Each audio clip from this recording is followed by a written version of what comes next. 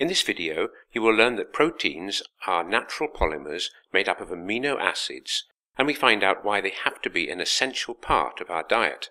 For healthy living, proteins need to make up about 10% of the food we eat.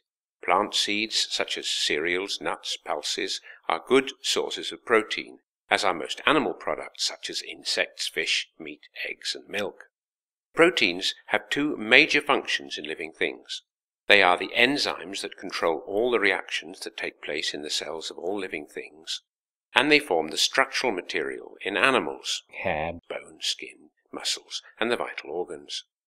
Proteins are natural polymers made up of 20 different amino acids. Look at the central carbon atom. It has four different groups attached, the amino group, the acid group, a hydrogen atom, and a side chain R. There are 20 different groups of atoms for R, for example, hydrogen, methyl, alcohol, etc. Organic compounds with two or more functional groups have the potential to polymerize. Think of them like trucks of a train. The couplings are like the functional group. With only one group, you can only make a double molecule, but with two or more functional groups, you can make a long chain. This coupling works chemically by a condensation reaction where water is eliminated between the amino and acid groups, making a peptide link. We begin the formation of polypeptides and eventually proteins. When we digest protein, it breaks back into the separate amino acids, so we can reassemble them into our own proteins. Enzymes have a primary structure, which is simply the polypeptide chain we have just seen.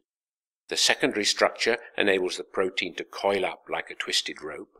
Now the different side chains attached to each amino acid, represented by the different colored R's, stick out like bits of rag caught in the rope. Some of these will attract each other and some will repel, enabling the rope, our protein, to coil up in a very specific 3D shape, giving it its tertiary structure. Here's how it works.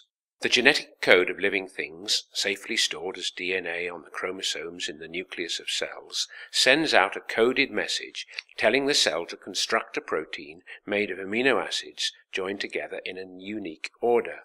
This coils up into its final 3D shape, ready to catalyze one type of reaction needed by the cell. Finally, a bit about the structural proteins that build the bodies of animals such as worms, insects, birds, fish, and ourselves. Our biggest organ is our skin, made of tough protein. Bones are made from a flexible, tough protein called collagen. Try feeling your ears. Then calcium phosphate, a hard, brittle, insoluble salt, is laid down, making the bone a bit like reinforced concrete, with the tough, flexible collagen fibers like steel and the hard but brittle cement around them. Protein molecules in muscles are spread out, and they contract when activated. Spiders and some insects make threads out of protein. They are very strong and tough, but soft.